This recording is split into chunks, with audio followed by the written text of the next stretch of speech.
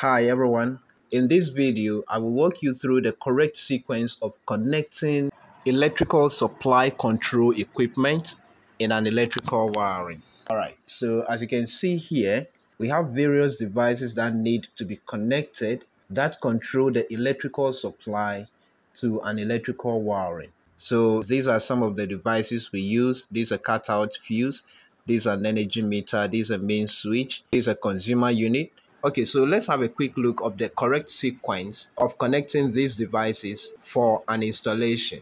So there should be a service cutout. There should be an energy meter that takes record of the electricity that will be used in the wiring. And then there should be a main switch and then a distribution board that distributes power to the various circuits in the wiring. Let's see how this equipment are connected in the right sequence. Okay, so first of all, from the utility pole, the first point of connection is the service cutout here. So usually a cutout fuse is used for the service cutout. It is a specially designed fuse, specially made for this purpose and that connects between the main supply that comes from the utility pole and then the meter. The service cutout fuse actually acts as the first line of defense at the point where electricity enters the building from the utility pole. So in case of a fault in these main cables, this fuse will blow, disconnecting supply to the wiring, including the meter. So in a way, this fuse also protects the energy meter from any damage as a result of excessive current. Now, one thing that this fuse does also is that before the introduction of prepaid meters, this is where the electricity supply authority would disconnect the main supply to a wiring in case they don't pay their electricity bill.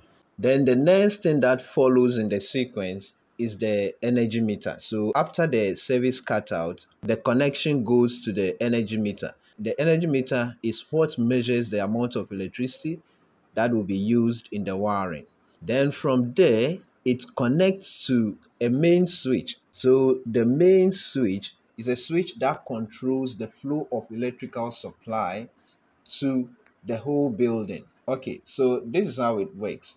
This main switch is always placed outside the building of the wiring so that it can be easily accessible in case of emergency most of the time consumer units or distribution boards are installed inside the house. And so in the event of any emergency, it is very difficult to disconnect the main supply from the wiring. But if there is a main switch that is placed outside, it makes it very easy to disconnect the supply when there is an emergency. So now, if we have a service cut out that is installed already, that can serve the same purpose as this main switch would do. But the truth is that the service cutout and the meter are the responsibility of the electricity supply authority.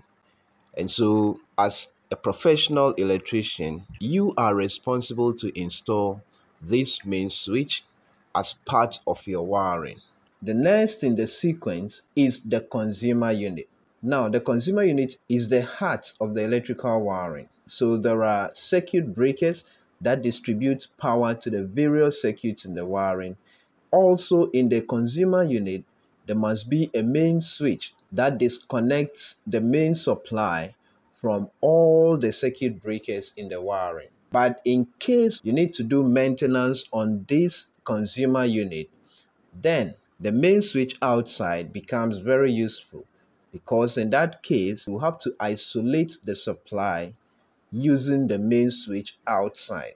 All right, so from this consumer unit, then we distribute power to the various circuits that we want to install in the wiring. So the service cutout comes first. This is the responsibility of the power supply authorities. Then the energy meter comes second, also under the control of the power supply authority. Then there must be a main switch outside the building where power can be isolated in cases of emergency and then in case of maintenance. Then from the consumer unit, power is distributed to the various circuits in the wiring. Okay, so in case we are using changeover switches, then the changeover switch comes before the consumer unit. Thank you very much for watching this video. Please stay connected. In case you have not yet subscribed to my channel, please kindly do and share the videos with others. And if you have learned something useful from watching this video, please kindly hit on the like. Thank you very much again. See you in the next video.